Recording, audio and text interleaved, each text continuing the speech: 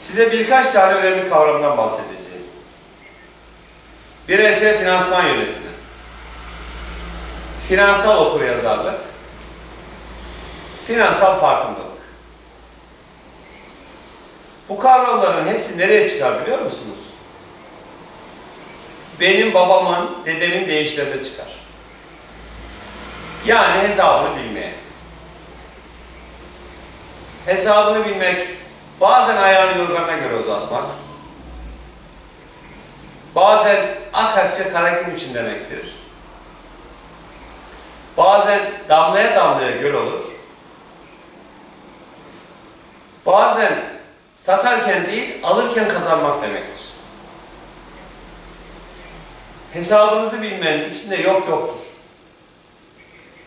Bütçenizi yapacaksınız.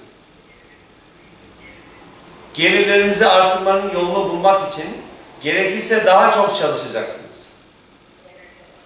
Giderlerinizi azaltacaksınız. Zorunlu ödemelerinize öncelik vereceksiniz. Kişisel harcamalarınıza dikkat. İsraftan uzak, tasarrufa yakın duracaksınız. Birikim yapmak, varlık sahibi olmak, emeklilik için plan yapacaksınız. Bankalarda kredi itibarınız olacak. Sağlıklı finansman kararlar vermeyi öğreneceksiniz.